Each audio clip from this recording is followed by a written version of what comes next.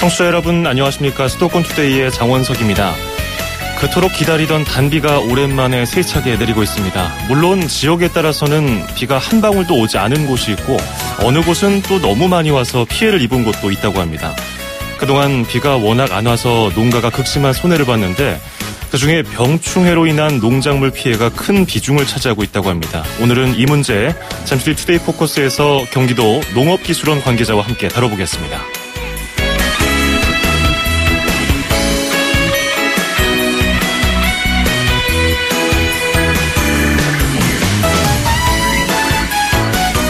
오늘 아침 앵커가 뽑은 수도권 뉴스입니다.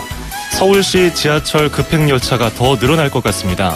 서울 6호선, 분당선, 수인선, 경의선 등 급행노선 확충, 문재인 대통령의 공약이기도 했죠. 급행열차가 일반 열차를 추월할 수 있는 선로 마련 등 안전성 연구 등을 이제 논의를 시작하는 건데요. 언제든지 검증 시험 소식이 들려오면 다시 한번 저희가 전해드리겠습니다. 카펜터스의 Close to You 띄워드리면서 2017년 6월 26일 수도권 투데이 시작합니다.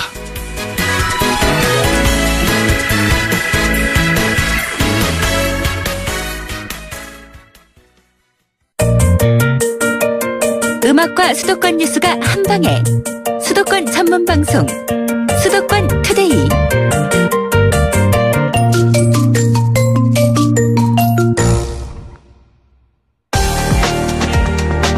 투데이 포커스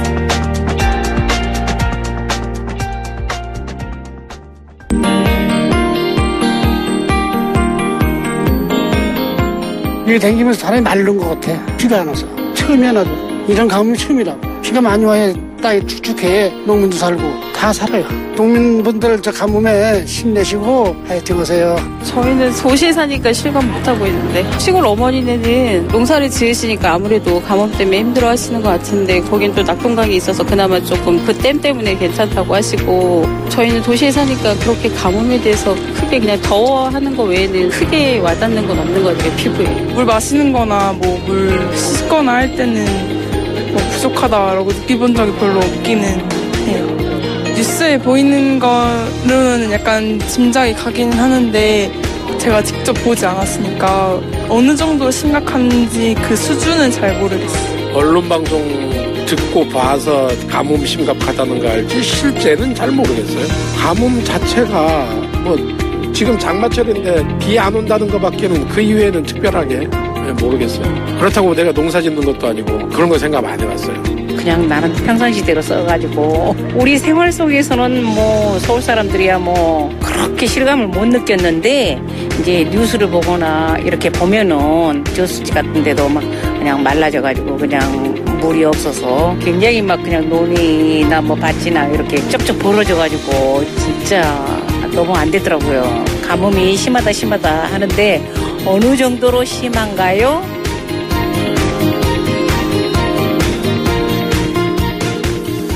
네.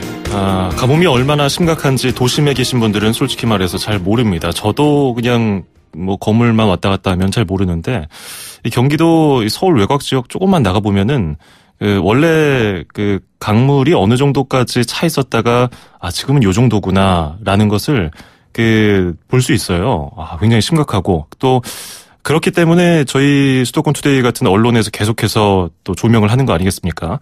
국지적으로는 이번 비가 뭐 100mm 정도 넘거나 그 정도 되는 비가 온 곳도 있다고 하는데 뭐 어디 경상도 지역이나 어느 쪽은 전혀 비가 오지 않은 곳도 있다고 하고요. 경기도도 역시 차이가 큽니다. 근데 전문가들에 따르면요. 지금 평균적으로 경기도 지역에 한 20mm 정도 비가 왔는데 20mm 정도는 턱이 없고요. 300에서 400mm 정도는 와야 이번 가뭄이 해갈된다고 합니다. 농촌에 가면은 요즘에 가뭄으로 인해서 지금 비가 왔는데도 농민들의 속이 타들어가고 있고요. 더불어서 해충, 이 병해충 때문에 이 속이 더 상한다고 합니다. 아, 상황이 좀 나아질지 모르겠습니다. 지금 가장 시급한 것은 뭘까요? 윤종철 경기도 농업기술원 기술보급과장 전화 연결되어 있습니다. 과장님 안녕하세요. 네, 안녕하세요. 윤종철입니다. 예, 반갑습니다. 네, 아, 원래 오늘 김순재 원장님을 인터뷰를 섭외를 했었는데 예, 예. 갑자기 경기도지사 주재 뭐 회의가 아침에 있었다고요? 예, 예. 실국장들 긴급 회의가 있는 모양입니다. 그래서 원장님 그쪽으로 가시고요. 예, 제가 오늘 대담을 하게 됐습니다. 그러시군요. 뭐 네네. 역시 뭐 가뭄이나 날씨 관련 회의일까요? 아마 그럴 확률이 높을 것 같습니다. 예. 예, 예. 자, 그래서 오늘 주제로 삼은 것도 음, 이름도 참 특이합니다. 멸강충. 이 네. 경기도 일부 농가에서 확산을 하고 있다고 그러는데 멸강충이 네, 네. 정확히 뭡니까? 어, 멸강충은 멸강나방의 애벌레입니다. 예. 이게 중국에서 기류를 타고 날아온 비례 해충입니다. 여기서 월동하는 해충이 아니고요. 음, 중국서 날아오는 해충이고요. 이것은 국지적으로 발생이 돼서 피해를 주고 있는 것이 특징입니다. 예. 비례해충이라는 게 뭡니까? 뭐 바람 타고 오는 그런 그렇습니다. 중국에서 기류를 타고 예. 5월 중순부터 6월 중순 사이에 어. 날아옵니다. 기류를 타고. 예. 예, 그 날아와서 그 성충들이 마른 잎에 알을 낳고 그 알이 부화가 돼서 애벌레들이 어 그 사료작물이나 이런 것들을 이제 갉아먹는 경우죠. 어, 그러면은 해마다 요때 계속 날아옵니까? 어 이게 국제적으로 발생했는데 저희가 2015년도 재작년에 발생이 됐다가 예. 어 작년에는 발생이 안 됐고요. 금년도에 또 발생이 되고 있습니다. 그래서 발생 어. 주기가 한 2, 3년 만에 한 번씩 예. 발생이 되고 있는 실정입니다. 멸강충의 크기는 한 어느 정도인가요? 뭐 유충일 때는 어느 정도다가 성충일 어, 때는 어 느 정도? 때는 한 1cm, 1cm 내지 한 1.5cm 정도 됐다가요. 예. 요게 이제 성충이 되면 아, 4 내지 5cm 정도로 커집니다. 음. 이게 누에로 생각하시면 될 것 같아요. 예. 어, 누에는 이제 금방금방 이제 뽕잎을 먹으면서 자라잖아요. 예. 얘들이 좋아하는 게 이제 옥수수나 수단그라스 이게 화분과 작물의 잎을 좋아합니다. 어. 그래서 먹으면서 급속도로 자랍니다. 예. 그 옆에 가면은 사근사근사근 먹는 소리가 들릴 정도로 허허. 이, 이 갉아먹는 속도가 상당히 빠릅니다. 뭐 4cm 이상으로 크면은 뭐 손 두 마디 정도 되니까 손 네, 한 마디 네, 정도 이게 큰기도 큰 것이 좀 흉측할 것 같은데 성- 흉측합니다. 야, 이게 성충으로 자라는 속도가 어느 정도나 되나요? 유충에서? 어, 지금 자라는 속도를 보면 예. 한 일주일이나 열흘 사이면 유충에서 성충으로 클 수 있을 정도로 허허. 그 정도로 빠리빠리 자라는 게 특징입니다. 굉장히 빨리 자라네요. 네. 네. 그러면 지금 경기도 주로 어느 지역에서 이 멸강충이라는 것이 확산하고 있습니까? 어, 이게 아까도 말씀 국지적으로 이제 예, 발생이 예. 된다고 말씀을 드렸는데요. 예. 주로 이제 안성, 여주, 고양, 양평, 포천 뭐 이게 지금 어. 전 시군에서 발생이 된다고 해도 무방하고요. 예. 그 중에서도 이제 지역별로도 이제 그 국지적으로 어 예를 들면 어떤 마을에서도 전체적으로 번지는 게 아니고 예. 그 포장에서 한 포장에서만 발생이 돼서 섭식이 돼서 음. 먹고 또 다른 데로 이동을 하고 이런 특징이 있습니다. 이게 어, 한 번에 중국에서 우르르 몰려온 것일까요? 아니면은 여기 어딘가에 살고 있다가 서식하고 어. 있다가 이번에 개체 수가 늘어났을까요? 멸강충은 여기서 월동이 안 되는 해충으로 돼 있고요. 예. 아까 말씀드린 것처럼 5월 중순부터 6월 상순 사이에 날아와서 예. 여기서 이제 부화한 알들이 이제 피해를 주고 있는 겁니다. 예. 사람 피부에 닿았을 때 뭐 쏜다든지 뭐 물다든지 피부에 영향을 주진 않나요? 어, 뭐 물거나 뭐 한다는 거는 들은 바는 없는데요. 어, 예. 아무래도 뭐 사람 손에 닿으면 음. 어, 이게 좀 그, 그 발톱도 있고 예. 또 이런 그 가시 종류들이 좀 털들이 나 있기 때문에 어. 아마 만지고 그러면은 좀 좋지는 않을 거라고 좀 생각은 듭니다. 그럼 이 멸강충이 에, 어떤 병을 옮기는 겁니까? 병해를 옮기는 건지 아, 아니면 병을 옮- 이건 해충입니다. 예. 그래서 그 옥수수를 예를 들면 예. 잎을 다 갉아먹습니다. 그래서 대만 남습니다. 그래서 농작물로서의 가치가 전혀 없지요. 아하. 예, 그래서 이거는 그 잎을 갉아먹는 거지 예. 뭐저 병을 옮기는 건 아닙니다. 아, 먹어 치우는군요. 네, 네, 잎을 갉아먹어 치웁니다. 아, 아까 보니까 뭐 옥수수랑 뭐 뭐라고 그랬죠 또? 수, 단 그라스 수. 이것들이 소들이 먹는 아, 사료작물들이거든요. 약간 좀 단맛 나는 것을 좋아하나 보죠? 그렇습니다. 이놈들은 단맛 나는 걸 좋아하고요. 예. 성충들도 그그 어미 멸강충들도 알을 낳을 때 단맛 아. 나는 것들을 먹으면서 이제 큽니다. 그러면서 이제 예. 마른 잎에다 이제 알을 낳죠. 그럼 어, 쌀 벼도 조금 달달하지 않나요? 그쪽으로 옮겨갈. 가능성은 이- 없나요? 벼처럼 이렇게 화분가 작물이라고 그러는데 예.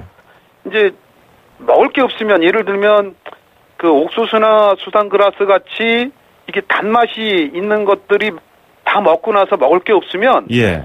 그때 논으로 내려가서 이제 벼를 섭식을 하게 됩니다. 어. 그래서 바로 방제를 안 하게 되면 예. 인근에 있는 그 뭐 이런 밭작물들도 초토화를 시킬 수 있는 그런 해충이 되겠습니다. 음, 아까 말씀하신 그런 작물들을 키우는 농가에서는 굉장한 피해를 입으실 텐데. 네, 네, 이게 먹는 속도가 너무 빠르기 때문에 아, 지금 이 어렸을 때 이게 지금 한 2령 내지 4령 정도 되거든요. 그게 뭐죠? 일령, 1.5, 일령이? 1cm 내지 2cm 내외 아, 그 정도 됐을 때 예. 충분히 농가들이 예찰을 해서 자기 논 밭에 이런 것들이 있는지를 충분히 살펴봐서 예. 발생이 돼 있으면 바로 약제를 뿌리면 방제가 가능한 그런 해충이 되겠습니다. 음, 방제는 얼마나 했습니까? 지금까지 몇 차례 정도 했나요? 어, 지금, 지금 말씀드린 것처럼 애벌레, 2령부터 4령 사이의 애벌레들은 예. 일시중에 나와 있는 사충제를 살포를 하게 되면, 어, 잘 듣습니다. 예. 한 번만 뿌리면 다 떨어지는데, 이게 예를 들면 성충이 돼서 한 4cm나 5cm 정도로 커지면 일반 살충제가 잘 듣지를 않습니다. 그래서 어, 저희가 이제 가능한 한 이게 애벌레 어렸을 때 방제를 해 주십사 하고 예. 시군센터하고 농가들한테 이제 당부를 드리고 있는 그런 실정입니다. 음, 지금은 농가에서 자체적으로 다 방제 작업을 해야 되는 상황인가요? 그렇습니다. 농가들이 방제를 하고요. 어, 저희가 이제 그 병해충 발생 주의보를 발령을 내리면 예. 시군 농업기술센터에서는 방제비가 있는 곳들은 방제비를 풀어서 이제 약제를 이제 농가들한테 나눠줘서 뿌리는 경우도 있고요. 예. 그렇게 예산이 허락지 않는 시군에서는 농가들한테 이제 저, 우- 저 SNS를 나또 이런 메일을 통해서 예. 농가들에게 바로 확산을 시켜서 방제할 수 있도록 그렇게 조치를 지금 하고 있습니다. 그렇군요. 그 해충 종류마다 방제 약이 따로 있나요? 어, 음, 다루 이제 이제 이런 게 있습니다. 예, 예. 이제 이 멸강충 같은 경우는 애벌레 같은 경우에는 이제 어떤 살충제를 뿌려도 잘 듣는 편이고요. 어, 그 다음에 이제 그렇지 않은 것들도 있습니다. 예. 이제 내성이 생기게 되면 아하. 똑같은 약을 계속 뿌리게 되면 내성이 생깁니다. 이럴 예. 경우에는 어, 방제가가 안 좋으니까 저희가 이제 권하는 것은 약을 좀 번갈아가며 이제 다른 약제를 좀 번갈아가며 뿌리도록 지금 농가들한테 지도를 지금 하고 있습니다. 근데 이렇게 피해가 뭐 자기 농가에서만 나면 괜찮은데 그게 주변으로 계속 확산이 되니까 이렇게 권고 수준으로는 좀 부족하지 않을까요? 아 그래서 이제 예. 그런 경우는 이게 확산이 많이 되게 되면 저희가 이제 그 시군청하고 시군센터하고 협의를 해서 예. 이제 공동 방제라는 걸 하게 됩니다. 예. 아, 그래서 이제 공동 방제를 해서 그 해충들이 인근에 더 확산이 되지 않도록 그렇게 이제 하고 있고요. 예. 저희가 이제 작년 같은 경우에 미국 손녀벌레가 그 농작물에도 피해를 줬지만 이런 공원이나 이런 또 등산객들이 등산하는 등산로에도 많이 피해를 줬거든요. 어. 그래서 이런 경우에는 도 예비비 작년 12억을 풀어서 예. 어, 방지할 수 있도록 그렇게 작년에 한 예, 예- 경우도 있고요. 예. 올해도 지금 발생 초기입니다. 지금 현재. 그래서 발생이 더 확산이 되면 음. 저희가 이제 또 도하고 협의를 해서 예. 예비비를 풀던지 그럴 것도 지금 강구를 좀 하고 있습니다. 예. 근데 지금 음, 이 멸강충이 다시 확산을 하고 있는 원인 중에 하나가 뭐 고온 현상과 가뭄을 꼽고 있던데 실제로 그런 환경이 에, 멸강충을 더 확산하게 하는 요인인가요? 네, 그렇습니다. 어, 멸강충은 물을 상당히 싫어합니다. 그래서 예. 비, 비가 만약에 많이 오게 되면 비, 그, 비에서 떨어져서 이제, 아이, 그, 옥수수 이런 데서 떨어져서 이제 흘러 나가게 됩니다. 예. 그래서 가장 물을 싫어하기 때문에 뭐, 장마철에 비가 많이 온다든지 이러면 멸강충 발생이 현저히 줄어들고요. 음, 그래서 이 가뭄과도 어, 멸강충하고 충분한 연관성이 있다고 봅니다. 예. 어, 지금 이 상황에서 뭐 어느 정도 비가 와서 쓸려 내려가는지 모르겠습니다만은 지금 상황에서 피해가 어느 정도 발생했고 의심이 되는 농가는 어디에다가 바로 연락을 하면 되죠? 그 연락 수단이 바로 그 연결이 연락? 연락들은요. 예. 저희 시군 농업기술센터가 다 시군마다 20개 시군센터가 있습니다. 예. 그렇게 시군센터에 연락을 주시던지 아니면 음, 경기도 농업기술원에 연락을 주시면 예. 어, 저희가 즉각적으로 조치할 수 있는 부분 조치하고요. 예. 또 약재 같은 것도 농가들이 잘 모르시면 예. 저희가 권고를 해서 제대로 된 게 방제가 될 수 있도록 그렇게 지도를 해 나가겠습니다. 그렇군요. 농업시군센터나 농업기술원 쪽에 연락을 하시면 네, 되겠군요. 뭐 농사 짓는 분들은 다들 뭐 알고 있는 네, 곳이겠죠. 대부분 다 알고 계실 겁니다. 예, 예. 자, 이번에 이제 비가 오긴 했는데 전문가들 말에 따르면은 뭐 해갈에는 가뭄 해갈에는 턱없이 부족하기 때문에 뭐 농작물 생장에도 뭐 문제가 있을 것이고 병해충도 글쎄 그렇게 큰 타격을 입지 않을 것이라는 예측도 있거든요. 네. 어, 뭐 7, 8월에도 뭐 장마가 시작된다고 하는데 마른 장마라는 전망도 있고요. 그러면 네 네. 지금 상황에서 어, 어떤 대비는 어떤 것이 필요할까요? 어, 어, 장기적인 예보를 보면은 금년도도 뭐 평년보다 비 양이 많게 온다는 그런 예보가 없습니다. 예. 그래서 이제 여러 가지 이제 금년에도 가뭄과 관련된 대책들이 좀 필요할 것 같고요. 지금 논들이 마르고요. 예. 그다음에 또 물이 안 들어가서 시드름 피해들이 지금 상당히 발생이 되고 있어서 벼와 이제 밭작물들의 피해가 좀 우려가 됩니다. 예. 그래서 벼농사 같은 경우에는 지금 간척지 같은 경우가 가장 문제가 되고 있거든요. 예. 어, 이렇게 가물게 되면 밑에서 염분이 올라옵니다. 음. 그래서 이제 그 벼에 큰 피해를 주기 때문에 예. 이 물 걸러대기를 하는 게 가장 좋거든요. 그래서 물을 갖다 논에 채워주고 또 물을 빼고 또 채워주고 이런 것들을 해야 되는데 예. 어 물들이 이제 많지 않기 때문에 어 가장 큰 걱정이 되고요. 하여튼 음. 물 걸러대기를 가능한 지역에서는 염동로를 최소 낮춰주기 위해서 예. 물 걸러 대기를 계속 해야 될 것 같고요. 예. 그 다음에 아직 경기도에는 이양 안 한 논들이 한 390헥타 정도가 있습니다. 음흠. 그리고 이제 어 간척지에 있는 논들이 이제 그 벼들이 고사되는 것들이 이제 서서히 나타나고요. 예. 이런 것들은 나중에 이제 보리나 호밀, 수수 그 염해에 강한 작물들을 미리 저 재배를 해야 됩니다. 그래서 이런 논들을 갖고 계신 농가들은 미리 이, 심을 종자들을 미리 확보해 두시는 것이 어, 중요하고요. 예. 그다음에 밭작물 같은 경우에는 간정이나 저수지 등 가까운 곳에 물이 있는 경우는 뭐 간수나 스프링클러를 이용해서 물 관리를 하면 될 것 같은데 예.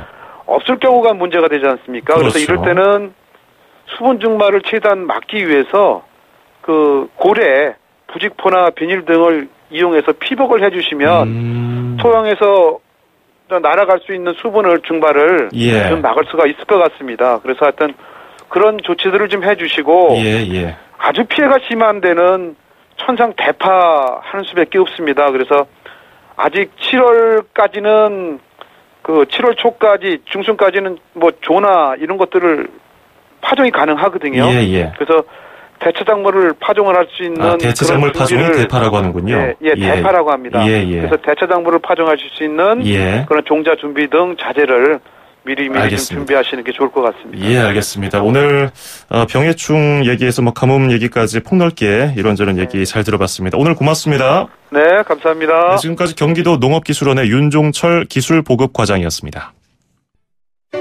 2,500만 수도권 청취자를 위한 모든 소식이 한자리에 YTN 뉴스 FM 수도권 투데이 FM 94.5MHz YTN 뉴스 FM 수도권 투데이 2부입니다. 오늘 뭐 비가 와서 반갑기는 한데 또 출근길에 다 젖고 고생 많으셨죠. 그래도 비가 와서 공기는 좀 시원해졌고요. 상쾌한 월요일 아침입니다. 이어지는 수도권 행정 탐방에서는 월요일 스트레스를 풀 수 있는 치유 방법 알려드리겠습니다. 바로 만나보시죠. 서울, 경기, 인천, 찍고! 수도권 정부의 핵심이 바로 여기에 수도권 행정탐방. 수도권 행정탐방 월요일 순서 경기도로 떠나보겠습니다. 오태환 산림과 주무관 연결하겠습니다. 주무관님 안녕하세요. 예, 안녕하세요. 경기도 오태환입니다. 예, 안녕하십니까. 아, 오늘 같이 월요일에는 많은 분들이 또 흔히 말하는 월요병도 겪으시고 찌뿌드드 하면서 피곤하실 텐데 산 속에서 치유를 하면 참 좋을 것 같아요. 그래서 오늘 살림 치유에 대해서 이야기를 해주신다고요? 예, 그렇습니다. 산림 치유 프로그램에 대해서 설명을 드리겠습니다. 예. 어, 산림 치유는 산림을 구성하는 다양한 환경 요소들인 경관, 피톤치드, 미온 등을 이용하여 심신의 건강을 도모하는 자연요법입니다. 예. 뭐 우리가 뭐 이렇게 좀 전문 용어를 쓰셔가지고 어려운 듯하지만 어, 숲속에 가서 뭐 풀냄새도 맡고 또 새소리도 들으면서 걸으면 기분이 좋아지잖아요. 그런 것들이 다 이제 건강에 에, 좋은 영향을 주는 자연 요법이지 않겠습니까? 그러면은 예, 그렇습니다. 예, 도심에서 좀 답답한 도심에서 벗어나서 살림에서만 우리가 느낄 수 있는 특별한 요소는 뭐가 있을까요? 아, 예, 숲은 도심에 비해 음이온 용량이 한 두 배에서 네 이상 많습니다. 예. 도심 환경보다 깨끗하고 농도가 높은 청정 공기를 마실 수 있습니다. 그 산림 내에는 나무들이 자신을 보호하기 위해 내뿜는 방향 물질인 피톤치드가 풍부해서 인체의 면역력을 높이고 건강을 증진시켜 줍니다. 예, 피톤치드. 그 숲에 가면은 거기서만 맡을 수 있는 뭔가 상쾌한 그 느낌의 향이 피톤치드였군요. 근데 아무리 뭐, 저 방향제가 피톤치드 성분이 들어 있습니다 하더라도 이게 산 속에 가서 직접 만든 것만큼의 그런 자연스럽고 상쾌한 느낌은 안 들더라고요. 자, 이 산림치유 프로그램의 효과는 뭐로 볼 수 있을까요? 아, 숲은 부교감 신경을 활성화시켜서 온몸을 편안하게 이완시켜주고 숲이 내뿜는 피톤치드는 스트레스 호르몬 수치를 단기간에 완화시켜 줍니다. 예. 그리고 이 강력한 항균 및 탈취 효과가 있어 천식, 아토피 피부염 등 환경성 질환에도 도움이 되며 자연세포 기능을 활성화시켜 면역력을 높여줍니다. 예. 어, 그러면은 에, 도심 경기도에서 산림 치유 프로그램을 할 수 있는 어, 시설이라든지 프로그램 몇 가지 추천 좀 부탁드리겠습니다. 아, 예, 경기도에서는 산림치유 프로그램을 한 다섯 군데에서 이제 운영하고 있습니다. 예. 그 시설은 경기도립 자탄기 푸른숲 용인 자연휴양림, 우왕시에 있는 바라산 자연휴양림, 파주 율곡수목원, 양주 불곡산 산림욕장에서 실시하고 있습니다. 이곳에서는 전문성을 갖춘 산림 치유, 치유 지도사를 배치해서 대상별 특성을 고려한 맞춤형 산림 치유 프로그램을 준비하고 실시하고 있습니다. 예.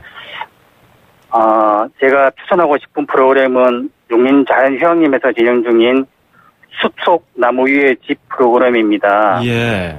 가족 단위로 참석할 수 있어서 가족 간 친밀감을 느낄 수 있고 유익한 프로그램이 되겠습니다. 예. 주무관님이 추천해주신 용인 자연휴양림에서 어, 진행하고 있는 숲속 나무 위의 집. 이 프로그램은 청취자 여러분 꼭 한 번씩 가서 체험해 보시면은 좀 나쁘지 않을 것 같습니다. 오늘 월요일인데요. 뭐 상쾌하게 아, 또 일주일을 보낼 수 있는 어, 그런 체험 프로그램 소개해 주셔서 고맙습니다. 예, 감사합니다. 네, 지금까지 경기도 산림과의 오태환 주무관이었습니다. 출입처 기자들의 수첩을 살짝 가장 빠른 수도권 소식을 전해드립니다. 여기는 출입처입니다. 네, 매주 월요일 아침은 인천광역시 소식 알아보고 있습니다. 경인일보의 이현준 기자 전화 연결돼 있습니다. 이 기자 안녕하세요. 예, 안녕하세요. 네, 인천광역시가 대형 재난, 재해에 대비해서 스마트 안전망 구축 사업에 나선다는 소식이 들어와 있는데요. 어떤 내용인가요? 그렇습니다. 대형 화재를 비롯한 각종 재난과 재해에 대비하고 아동 대상 범죄를 예방하기 위한 사회 안전 근 인프라 구축에 인천시가 나섭니다. 바로 스마트 안전망 구축 사업입니다. 정보통신 기술을 사회 안전 인프라 구축에 접목시켜서 더욱 효과적이고 빠른 대응 체계를 갖출 수 있도록 하는 게 이번 사업의 목표입니다. 예, 정보통신 기술을 활용해서 사회 안전 인프라를 구축한다. 어떤 식으로 추진이 되는지요? 우선 인천시청 내 데이터 센터에 첨단 재난안전 상황실이 구축됩니다. 아, 재난안전 상황실엔 인천에서 발생하는 모든 재난과 재해를 확인하고 아, 실시간으로 대응할 수 있는 시스템이 구축됩니다. 24시간 근무 체계를 갖추고 119 종합방재센터와 기상청 등과 정보를 공유하면서 대응 능력을 높이게 됩니다.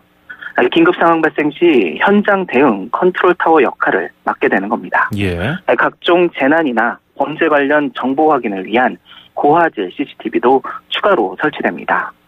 범죄를 예방하고 피의자를 검거하는데 한계가 있을 수밖에 없는 100만 화소 이하의 저화질 CCTV가 단계적으로 고화질 CCTV로 바뀌게 됩니다. 그렇군요.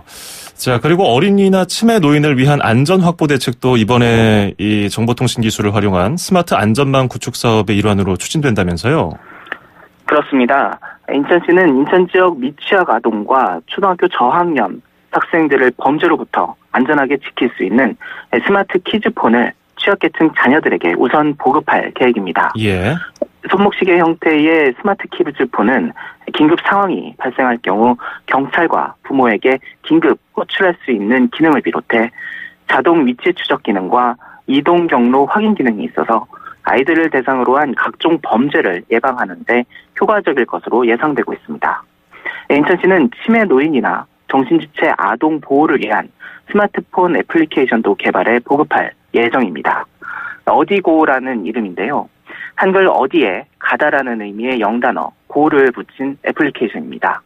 이 어디고 앱은 노인이나 어린이가 사전에 설정된 장소를 벗어날 경우에 자동으로 보호자에게 알리는 기능을 갖추고 있어서 노약자들의 위치 확인에 도움이 될 전망입니다. 예, 요즘에 뭐 좀 안타까운 사, 그, 유괴 살해 사건이 인천에서도 발생했기 때문에 이런 또 스마트 키즈폰과 관련한 애플리케이션 많은 분들이 활용하면 또 좋을 것 같습니다. 네, 자, 그리고 그렇습니다. 인천의 대표적인 관광지로 꼽히죠. 월미도, 연안부두를 백길로 연결하는 방안이 검토된다고요?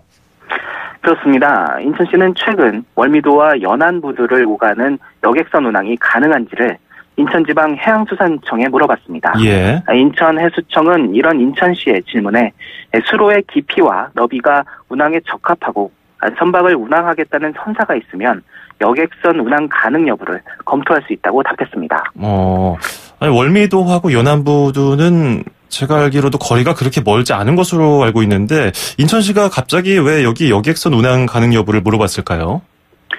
그렇습니다. 월미도와 연안부두는 직선 거리로 2km 정도입니다. 인천시는 지역 대표 관광지인 월미도와 어시장이 있는 연안부두를 하나의 관광벨트로 묶으면 양쪽 상권이 더욱 살아나는 시너지를 기대하고 있습니다. 예. 인천시는 이들 지역을 교량이나 해저터널 또는 보행로로 연결하는 방안을 검토하기도 했었습니다. 그런데 교량이나 해저터널은 사업비가 수천억 원에 달해 추진에 어려움이 있었습니다. 보행 전용 다리나 보행로 구축은 사업비는 비교적 저렴하지만 월미도와 연안부두 사이에는 내양 강문 등 국가 보안시설의 보안 관계로 설치가 어려운 실정입니다. 음, 이런 상황에서 백길 방안을 검토하게 된 것으로 해석됩니다. 아, 월미도에서 배를 타고 연안부두를 갈 수 있는 방안이 마련될지 관심입니다. 네. 또 그렇게 배가 연결돼도 또 재밌는 광경이 연출되겠군요. 자, 끝으로 경제 자유구역에서 해제가 된 인천 영종도 부지 76 제곱킬로미터 정도가 투자 유치를 할 수 있는 땅으로 바뀌었다는 소식 들어볼까요? 2011년부터 두 차례에 걸쳐 경제자유구역에서 해제된 인천 영종도 내 76.62제곱킬로미터 부지가 최근 수도권 정비계획법상 과밀어째권역에서 성장관리권역으로 바뀌었습니다. 음흠. 성장관리권역에선 투자자의 조세 부담이 크게 완화돼 투자 유치 활성화가 기대되고 있습니다. 예, 또 뜨거운 땅으로 변화하겠군요. 오늘 말씀 여기까지 듣죠. 고맙습니다. 감사합니다. 네, 지금까지 경인일보 이현준 기자였습니다.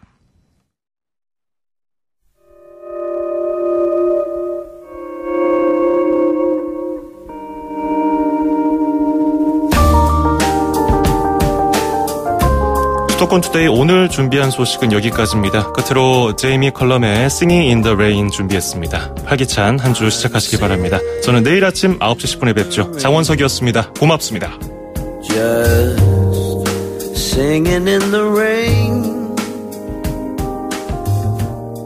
What a glory.